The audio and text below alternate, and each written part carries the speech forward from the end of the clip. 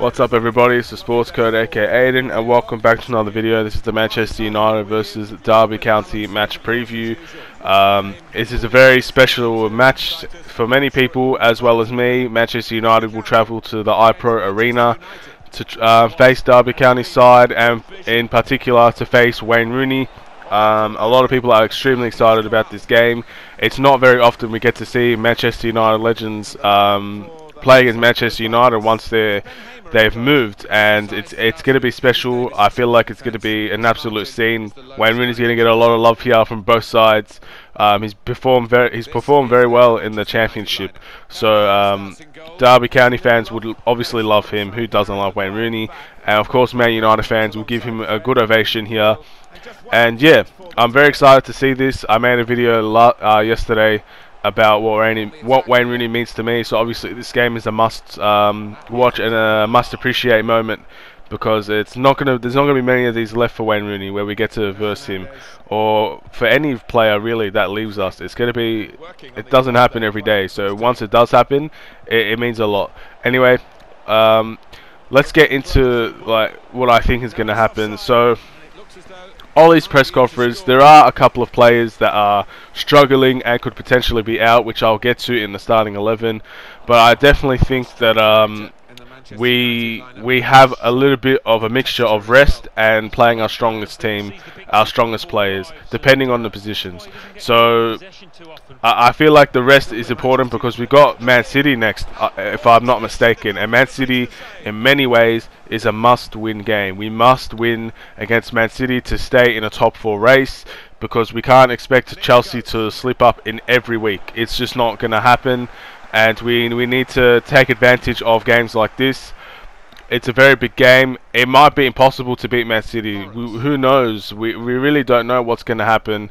But hopefully there's a chance, and with if there's a will, there's a way. We've done it twice this season. If we could do it a third time, it would be absolutely amazing, and I'd be really proud with the team. But um, we we got to capitalize on on Man City. So therefore, resting a couple of players in this game in my eyes is acceptable. If we lose this game, it's unacceptable. But it's also, it depending on the team that he plays, it could also be an indication of the intentions in the top four that we're going to sacrifice the FA Cup. Whatever happens, um, I, I, just hope that I'll be able to accept it when the when the final whistle blows. But if we play a strong side and lose, that's when it, things are going to get a little bit, little bit heated. But we'll see how it goes. Moving into the starting eleven, at the moment, in goal, I've gone with Sergio Romero. Now, this is not by any means, um, this is not by any means guaranteed.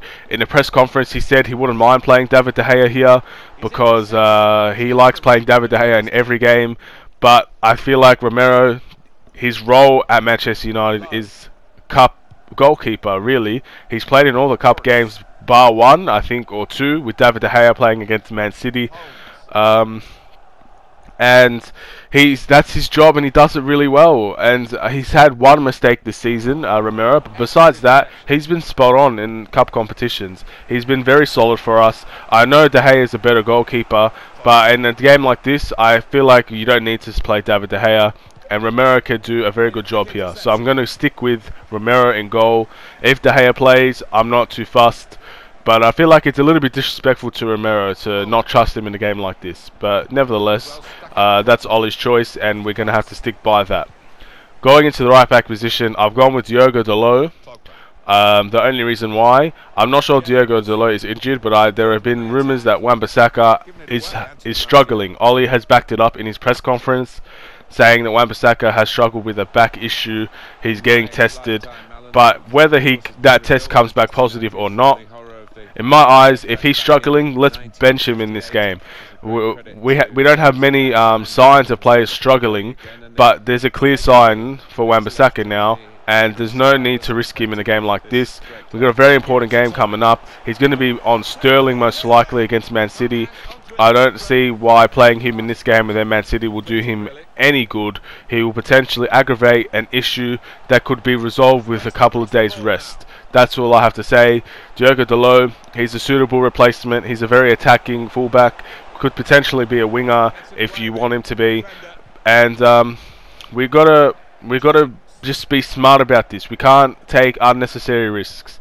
there is a possibility, and this is just me, you know, creating my own uh, my own scenarios. We could play Diogo Dalot on the right wing and play Brandon Williams at right back. And if that was to happen, uh, Ole would get a thumbs up from me because uh, with the injuries that we have already amongst the team and the knocks, um, it would be a great way to show that you know the team well, and I feel like that would be a very suitable, um, suitable formation, suitable um, players against Derby in good positions. But we'll see. For now, I'm going to say Diogo Dalot right back. Going into the centre backs, Eric Bailly for me is a must. The reason why he has um, performed exceptionally well since he's come back. The Chelsea game is still the standard for him at the moment. Uh, he had a game in the Europa League where he didn't do much, but he was still pretty good before the red card. Um, but any, besides that, he still needs to be given more chances, more game time. I definitely think he's a suitable um, backup for Victor Lindelof, or even he could be the starter over Victor Lindelof in many people's eyes and uh, no one will complain about that. I definitely wouldn't complain about that. So Eric Bailly needs more game time. Give him more game time. Give Lindelof a rest. Uh, I would play Eric Bailly uh, in in the Man City game to be honest, because I just feel like Victor Lindelof has not had many good games against Manchester City. But um, yeah, and that's that just goes without saying. I've said that a lot against Victor Lindelof. I really rate the guy. I, I don't want to get the wrong impression. I really like Lindelof. I think he's very intelligent. He's a very high IQ player. And um, he can do things that a lot of centre backs can't do when it comes to the mental side of the game. And we've got to respect that as much as the physical side of the game as well. And the other centre back position, that's tough. Now, in most cases, I would say Phil Jones or someone like that would play in this game because we need to give Harry Maguire a rest. But I can't see, I can't see Ole giving Harry Maguire a rest. I don't know why. I just can't see it. I don't feel like we need to play Harry Maguire in every single game, and I feel like a rest is needed for him. We can't um, take unnecessary risks, and Harry Maguire has played every single game that he's been available, and that's just in my eyes. Uh, we need to give him a rest, at least one or two games rest. We got Man City, like I said, I'll keep saying it. Man City's too important to have someone get injured in this game that would really need. So I'm going to say Phil Jones. Ole might think otherwise, but Phil Jones, in my eyes, has to play this game. I could definitely see Phil Jones having a decent game. Phil Jones, it seems like as soon as he comes in, he has a decent game, but then when you play him the game after, he's going to struggle. And um, for for the, this moment, uh, whether it's bad bad risk or not, let's play Phil Jones. Uh, I definitely think he can have a decent game here. He's uh, he is a good defender, Phil Jones, but it's just he makes way too many mistakes, and hopefully a mistake is not due for um, Phil Jones in this game. We'll see what happens. Uh, going into the left back position, I've gone with Brandon Williams, similar to the Wan-Bissaka thing. Luke Shaw's not in any way, uh, according to my knowledge, has struggling with um, injuries, but uh, I think Brandon Williams needs more opportunities to play at the moment. Plus, Luke Shaw probably needs a break because he's been playing a lot, and um, this is an important game for Brandon Williams' career. It's a FA Cup game. It's a must. It's it's a must-win game in terms of going through. Brandon Williams, being a young lad, this will give him great experience in cup competitions that he already has but could have more of. And that's that's beautiful. I'd love to see that. And therefore I'm going to go with Brandon Williams. And uh, we'll see. But if he plays Luke Shaw again it's one of those ones I'm not not complaining about it. I don't it's not that big of a deal to me. But Brandon Williams in my eyes I'd really love him to play this game. Going into the midfield this is where um, the risks are calculated. I want to play Fred in this game. I really, really want to play Fred in this game. The reason why, if we don't play Fred, the team's not the same. The team is completely different. It's completely, it's like it's 100% a different team. We're slow, we're stagnant, we're lethargic. We're not a good team without Fred in it. And it just shows, it is really shows how one player affects everything that we do.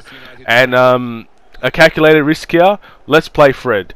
Uh, I know that um, he's played every game just as much as anybody else, but with the likes of Pogba, who by the way looks like he's going to be out in this game as well, according to Ole's press conference, uh, we just don't have much left, and I really think Matic needs a break. So Fred has to play. If we play anybody else, I'm going to be really frustrated, to be honest, because Andreas doesn't suit the role Fred plays, and um, Jesse Lingard definitely doesn't. So if we're going to play one of them, that's when the frustration is going to kick in for many fans, not just myself. I think Fred is a player that we have to play because he just brings so much to the team, and this is a calculated risk that hopefully will pay off in our favour. Going into the other CDM position, because by the way, this is a 4-2-3-1 formation I am going with. Uh, I've gone with Scott McTominay.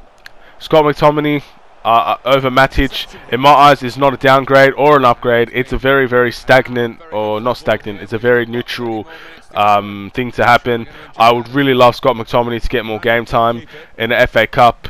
Um, this is definitely one that can really help us. And I, it seems like when players come back, he just puts them into the into the fire, and he puts um, he will play Scott McTominay against Man City. I'm almost sure of it, but um, I think Matic needs a break as much as anybody else, and Scott McTominay for Matic, in my eyes, it is. Um, it is a it's a neutral move. It's something that we would not lose much for dropping Matic for McTominay.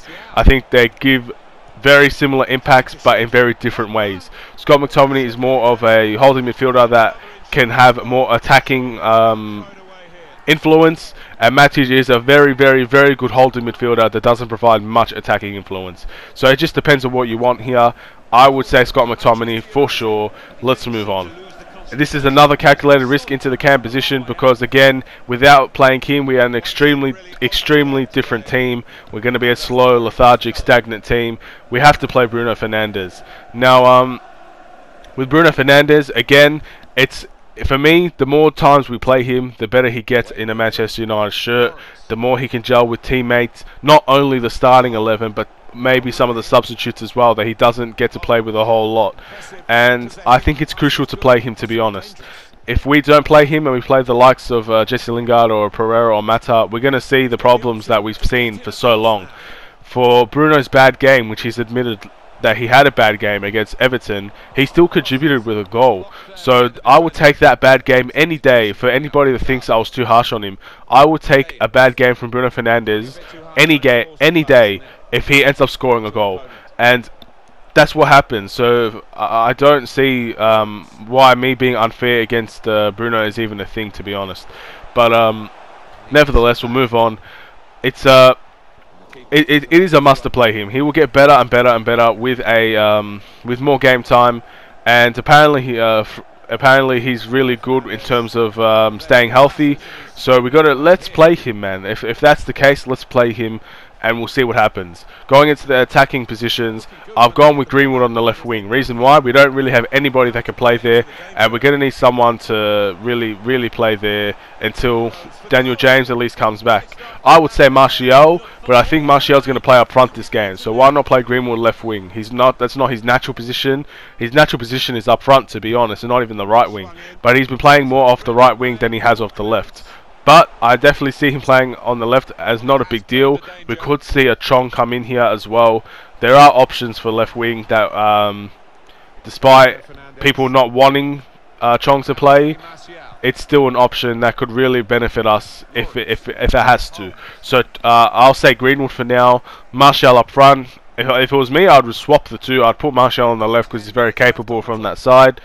But uh, I feel like uh, Ole has his mindset on on, on Martial playing number 9, and I can't really complain about that. He's been a very good number 9 this season. And the right wing, I've gone with Juan Mata. I don't like this choice as much as you guys do, probably. In no circumstance do I believe Mata's a right winger. But I feel like that's what Ole going to go with. And I, uh, at the end of the day, if Mata can't play in this game, then he just can't play at all. Because this is a game where we're going to need squad depth. He's part of that squad depth. If he's not considered Deadwood, he's part of the squad depth, and we need to play him um, in games where we need to rest others. And this is going to be a very important game to see where Mata is as a footballer. He's been very good over the past couple of days. He had a bad game against Everton, a really bad game against Everton, but he didn't play for very long but he had a very good game against Club Brugge. So we'll just uh, that's the level he's at at the moment, and we got to see if we can find another level for him. And that's the team.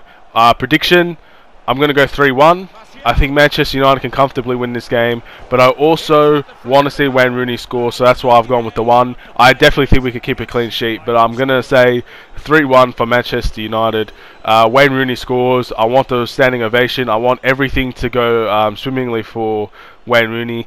Uh, it'd be really good to see him score, and I, I know that's that's a bad thing to say as a Manchester United fan on a on a about a player that's not on our team. But I don't know, man. It's Wayne Rooney for crying out loud. I, I want to see him score. I want to see the chance. I want to see everything. Um, like a perfect night, a lot, uh, victory and a defeat in a way. Anyway, um, yeah, three one is the the result I'm going for. Let's get into the next round of the FA Cup. Thank you for watching. This is the Sports Code. Like, subscribe, take care, and peace.